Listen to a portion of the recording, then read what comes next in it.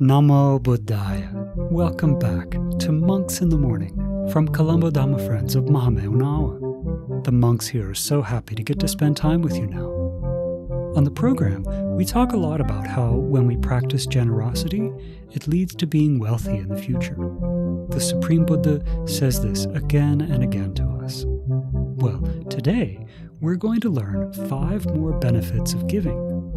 Some of these benefits we can even see right now in this very life. They're good to remember, so I recommend that you write them down in your special Monks in the Morning journal. You do have a place where you keep track of what you learn, don't you? All you need is a small notebook that you can keep with you when you listen. It doesn't have to be anything fancy, but it's good to keep it just dedicated to things you learn on the show. That way, it'll be easy to go back and look up things later. One of the best things that we can do to start the day is to go for refuge to the Buddha, the Dhamma, and the Sangha. Then, when we have difficulties or problems throughout the day, we can remember to think about what our teacher, the Supreme Buddha, has taught us and try to find a solution that matches with the Dhamma. Because the happiness that comes from following the Buddha's instructions lasts a long, long time, even into our next lives. Now let's take the refuges and the precepts. Sadhu, සාධු සාධු නමෝතස්ස භගවතෝ අරහතෝ. සම්මා සම්බුද්ධස්ස නමෝතස්ස භගවතෝ අරහතෝ. සම්මා සම්බුද්ධස්ස නමෝතස්ස භගවතෝ අරහතෝ සම්මා සම්බුද්ධස්ස බුද්ධං සරණං ගච්ඡාමි ධම්මං සරණං ගච්ඡාමි සංඝං සරණං ගච්ඡාමි දුතියම්පි බුද්ධං සරණං ගච්ඡාමේ. දුතියම්පි ධම්මං සරණං ගච්ඡාමේ. දුතියම්පි සංඝං සරණං ගච්ඡාමේ. තතියම්පි බුද්ධං සරණං ගච්ඡාමි තතියම්පි ධම්මං සරණං ගච්ඡාමි තතියම්පි සංඝං සරණං ගච්ඡාමි සාදු සාදු Sadhu. Say after me, I observe the precept of abstaining from killing beings. I observe the precept of abstaining from stealing. I observe the precept of abstaining from sexual misconduct. I observe the precept of abstaining from telling lies. I observe the precept of abstaining from taking intoxicating drinks and drugs. with the refuge of the noble triple gem. I observe these precepts for happiness in this life, for rebirth in heaven to escape from the sufferings of samsara.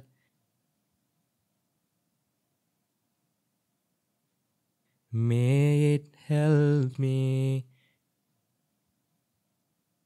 May it be a blessing. Sadhu, sadhu, sadhu.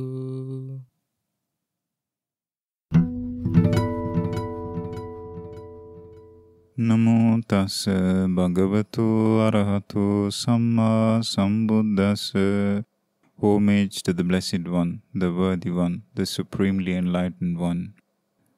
Dear meritorious listeners and dear children, today we are going to uh, talk about a sutta, the Sutta Pitaka. The, the name of the sutta is Dānānisaṃsa Sutta, the benefits of giving.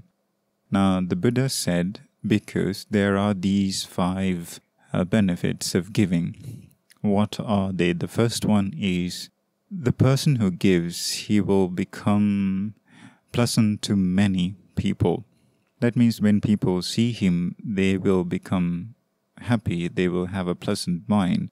They will think that, oh, this person is that person who gives so much of uh, charity and uh, he's such a nice person. So they will keep on thinking like that of the person who practices generosity. So the first thing, uh, the first benefit he who practices generosity gets is that people will have a pleasant mind towards him. The second benefit that the person who practices generosity will gain is that he will associate with noble friends. Now, who are these noble friends?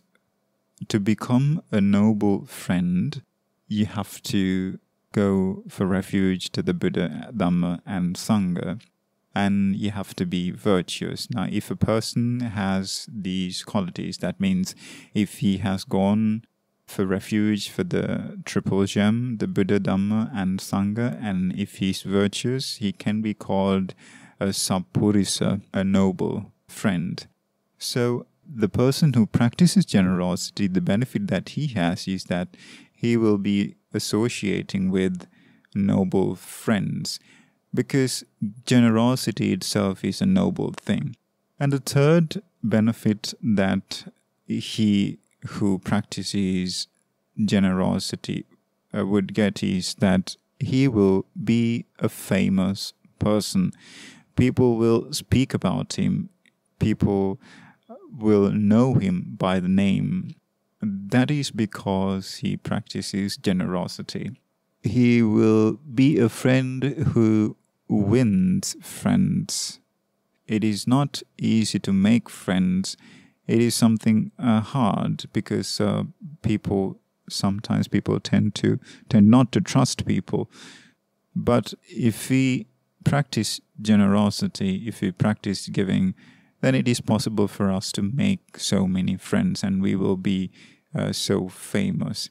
And the benefit he who practices generosity would get is that he will not uh, deviate from the five precepts. Now, what are the five precepts that we have? The lay people, they have to protect these five precepts.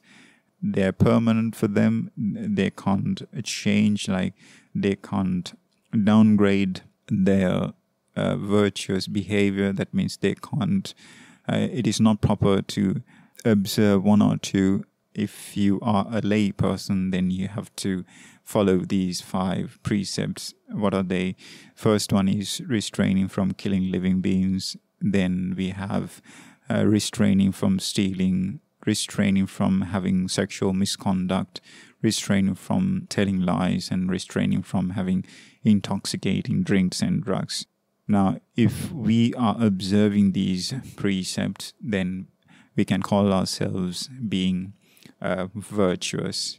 And the fifth benefit is that once we die, we will be born in a heavenly world. Either in this human world, we can come back to this human world, or it we if we had placed our mind in one of the divine worlds, we will be born in that particular divine world. So the Buddha said, These the five benefits he who practices uh, generosity would get. So hope you would remember this Dhamma point that we discussed here today. Can you remember the name of the sutta? It's Dānānisaṃsa Sutta, the benefits of giving or benefits of uh, generosity. So, hope you would remember these Dhamma points, and we wish you would attain the supreme bliss of Nibbana in this Gautama Buddha's dispensation. Sadhu, sadhu, sadhu. Metta Bhavana, loving kindness meditation. Now we'll train our minds to be filled with loving kindness. Many of you ask about the words that we use as a guided meditation and if it matters if we think these words in other languages. I want you to think these thoughts in whatever language you like. What's important is that we get the real feeling of wishing for the happiness of ourselves and others. It doesn't matter the language or even the exact words. In fact, practicing loving kindness isn't about the words at all. It's about the attitude that we have in our minds.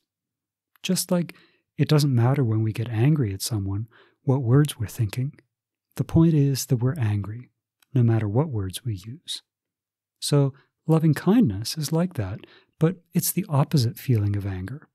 And it doesn't matter what words we use to feel loving kindness.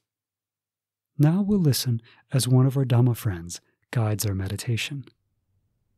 May I be free from anger.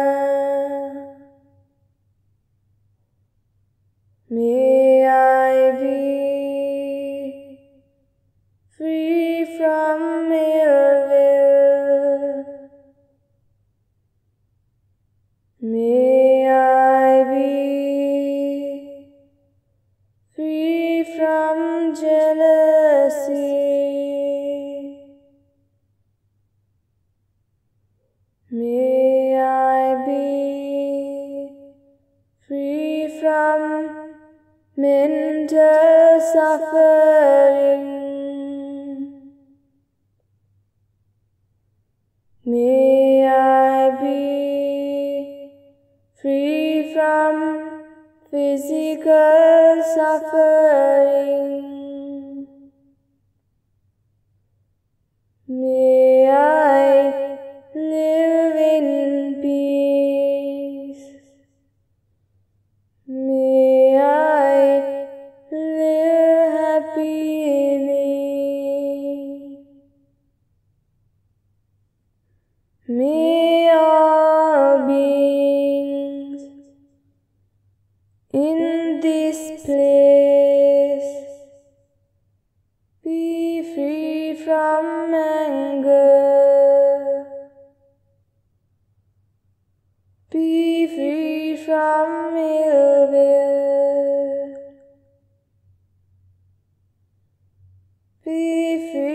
From jealousy.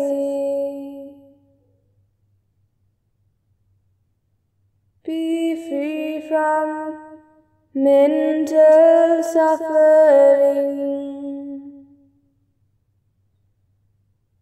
Be free from physical suffering. May they living in peace. May they live happily.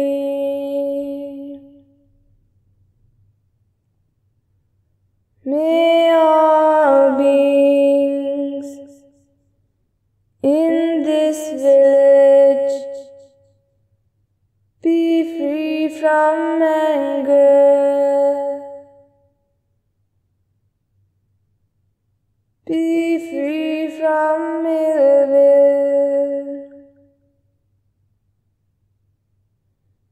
Be free from jealousy.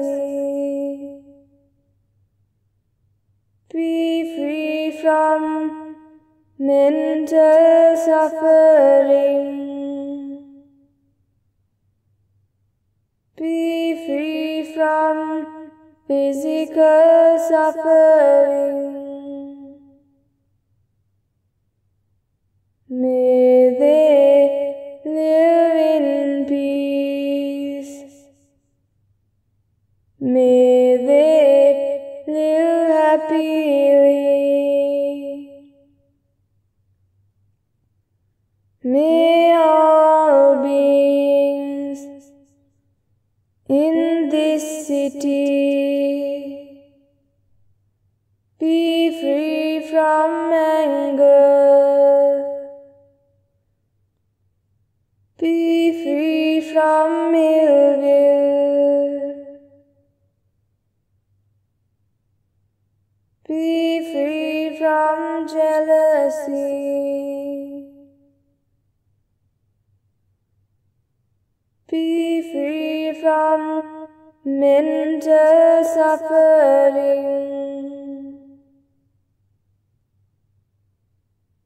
Be free from physical suffering.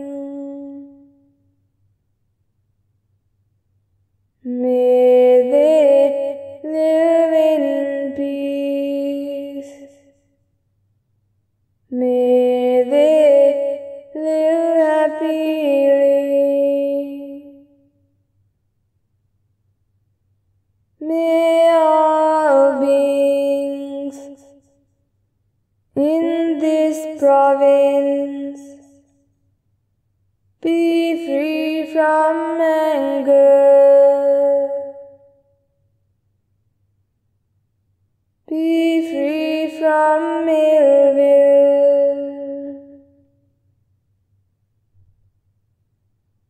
Be free from jealousy.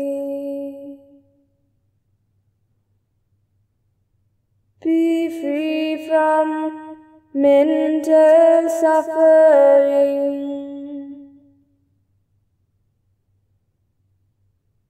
Be free from physical suffering. May they live in peace. May they live happily. May all beings in this country be free from anger.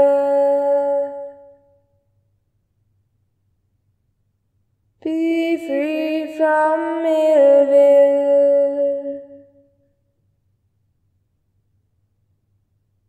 Be free from jealousy.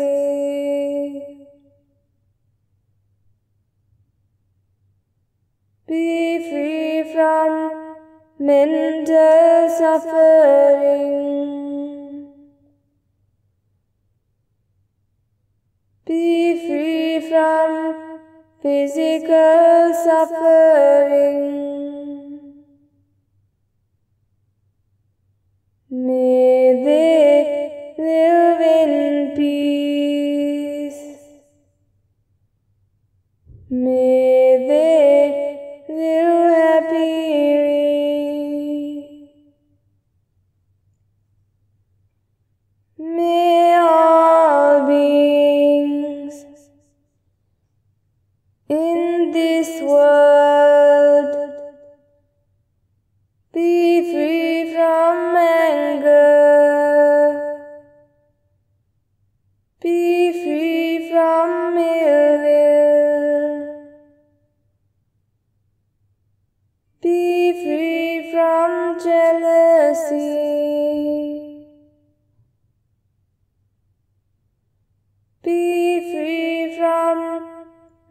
mental suffering. Be free from physical suffering. May they live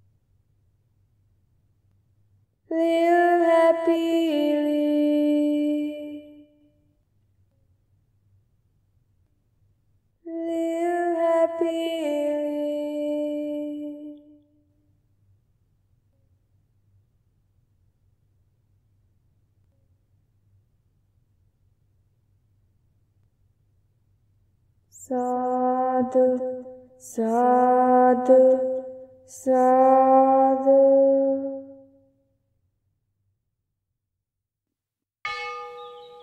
Theragatha. Verses of Arahant Nadi Kassapa. Three of the Supreme Buddha's first disciples were a set of brothers named Uruvela Kassapa, Nadi Kassapa, and Gaya Kassapa. Before they met the Buddha, they were what's known as matted hair ascetics. So they didn't have families of their own. In that way, they were like monks. But instead of shaving their heads, they let it bunch up into what we now call dreadlocks. Maybe you've seen people who have hair like that before. It kind of looks like snakes on their head almost. The other way that they were different from Buddhist monks is that they believed that they could purify their minds by making fire sacrifices and bathing in a river. So, they had this wrong idea about enlightenment. Now let's listen to the verses spoken by the second oldest brother, Nadi Kassapa, so we can hear how he took advantage of his meeting with the Supreme Buddha. The verses of Arahant Nadi Kassapa. Truly for my benefit, that day the Buddha came to the bank of the river Neranjara. Having listened to the Buddha's teaching, I abandoned wrong view. Previously, I lived as a foolish, blind, ordinary person. I performed various sacrifices and fire offerings, thinking that was the way to purity.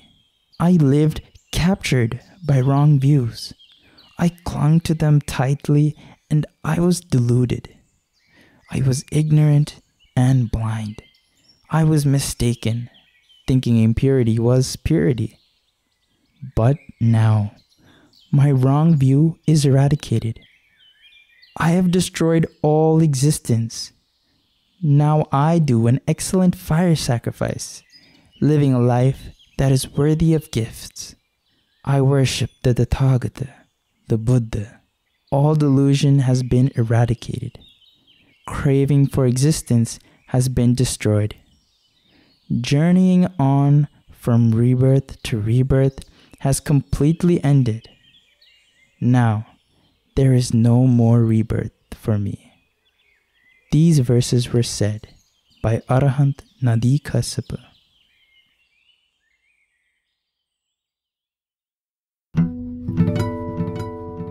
It was great to spend time with you again today. We hope that you learned something new, and we really hope that you can use what you learned as you go about the rest of the day. Do you remember the five benefits of giving that we learned in the sermon today? The Supreme Buddha said that when we give, people love us. And the second benefit, that good people like to associate with us. This is very, very important because when we associate with other good people, then our own good qualities increase, don't they? The third, we get a good reputation.